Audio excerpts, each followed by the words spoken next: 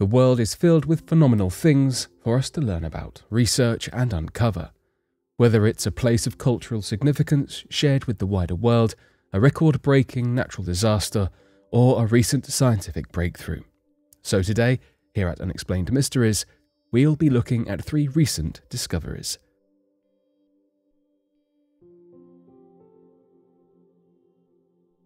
Captain John Smith discovered Ajanta Caves.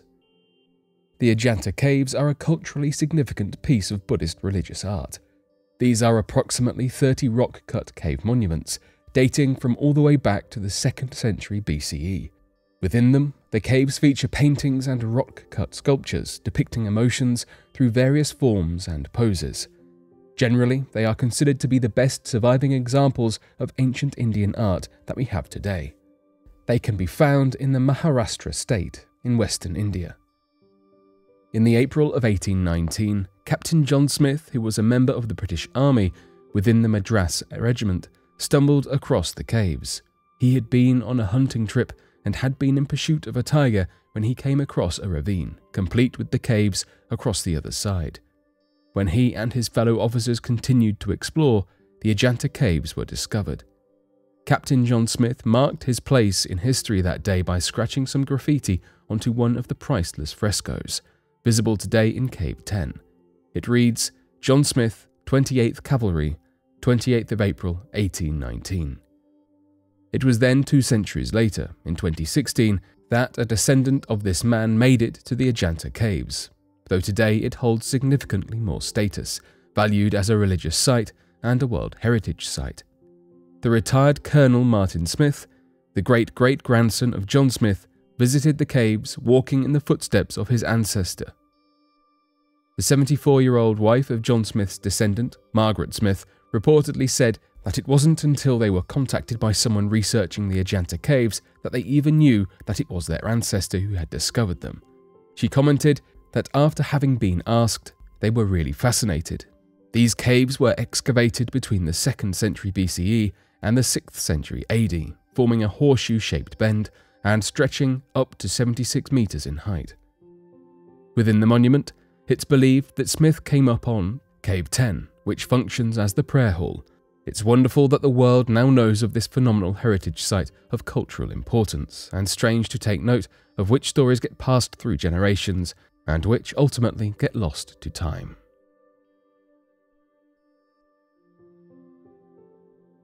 Mount Vesuvius eruption turned man's brain to glass. Perhaps one of the world's most famous volcanoes is that which destroyed Pompeii, Mount Vesuvius. This volcano has made a mark for itself as a legend and hasn't been categorized as a supervolcano, despite its significant impact upon the world and our history. The archaeological discoveries that have been made since Pompeii are momentous and groundbreaking, and now, two millennia later, more information continues to be pushed forth. Researchers uncovered the remains of who is thought to be potentially a sole victim of the lethal eruption. The man lost his life alone, face down on his stomach, having thought to have been asleep, leaving him unable to flee. We are now far from 79 AD, but this Italian research team has discovered that there has been more left behind than the bones.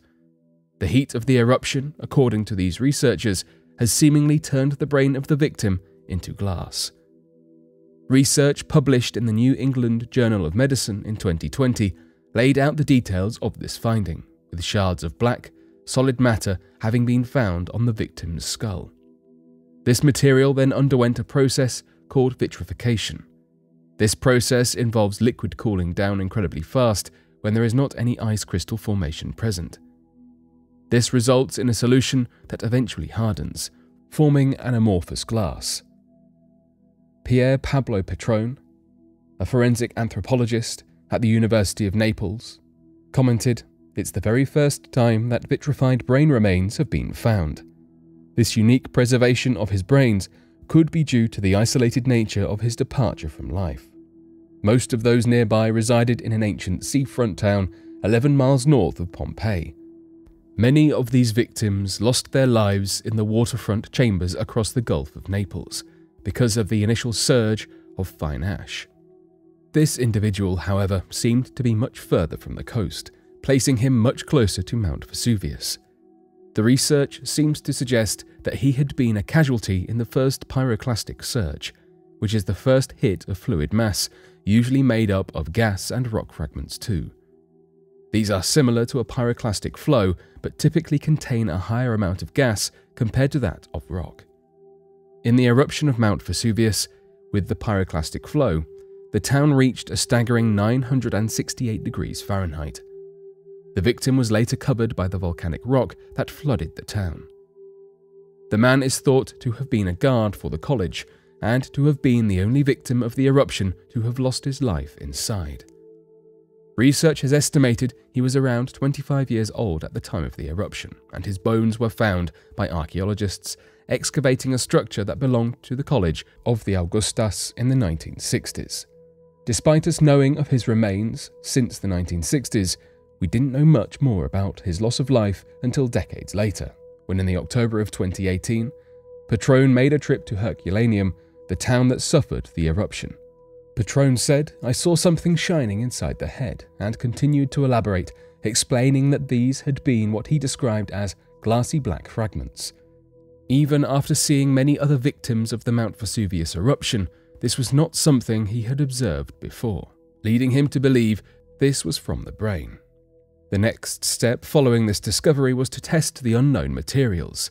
These were conducted by Piero Pucci, a biochemist who works at the Center for Genetic Engineering in Naples. Following this next step in the analysis, he found that there were plenty of fatty acids within this material, aligning with those that we find within human hair. Unfortunately, despite the match, at this stage, this was still nothing more than a theory as this fatty acid is present in other animals and some vegetables too. Therefore, the presence of these acids alone is not enough to definitively confirm this is a brain made into glass. However, in an article published in 2020, Petrone Pucci and their colleagues were able to conclude that this was brain tissue, thanks to the presence of other proteins, common in the brain too, exclusively found around the skull. It's very rare for brain tissue to be preserved, and when it is, it's rarely seen in this form. Petrone and his team's discovery is the first time we have seen any sort of brain tissue, human or otherwise, preserved as glass. This is a revolutionary discovery, showcasing a form of preservation that up until now we did not know was possible. A 1,720 foot tsunami. Tsunamis are a type of natural disaster that have wreaked havoc and brought devastation to many people's lives. They are high waves from the sea that are typically a consequence of disturbances such as earthquakes. There are some on record of impressive heights, but none more so than in Lituya Bay in 1958. Lituya Bay, found in Alaska, saw the tallest tsunami that we have ever managed to get on record, as it reached a staggering 1,720 feet earning itself the title of Mega Tsunami. Unfortunately, there were several casualties in this event, with five people losing their lives and many injured and homeless. The wave easily cleared trees and soil, leaving behind bedrock in its place. This tsunami followed an earthquake in the area with a magnitude of 7.8. The earthquake itself had led to significant rockfall, and now there is an ongoing debate that is somewhat prevalent. Was the tsunami a result of the earthquake directly, or of the rockfall which caused a significant disturbance upon impact? Unlike tsunamis, mega tsunamis are not believed to occur through the movement of underwater tectonic activity, but rather by the impact of large materials falling suddenly into or near the water. Here, it's clear why the lines are blurred, thanks to the inconclusive nature of the tsunami's origin. This is not the first time that Lituya Bay has experienced heartbreak at the hands of a tsunami. Over a span of just a century and a half, it's thought that four or five mega tsunamis hit the area. Natural disasters of any volume are devastating, though one of this size, magnitude, and sheer immensity brought huge losses to Alaska, with some suggesting that this was the event that pushed the category of mega tsunami into existence. The world we live in is constantly changing and developing, between old discoveries resurfacing and new technology letting us explore further than ever, there is an endless supply of new things to learn.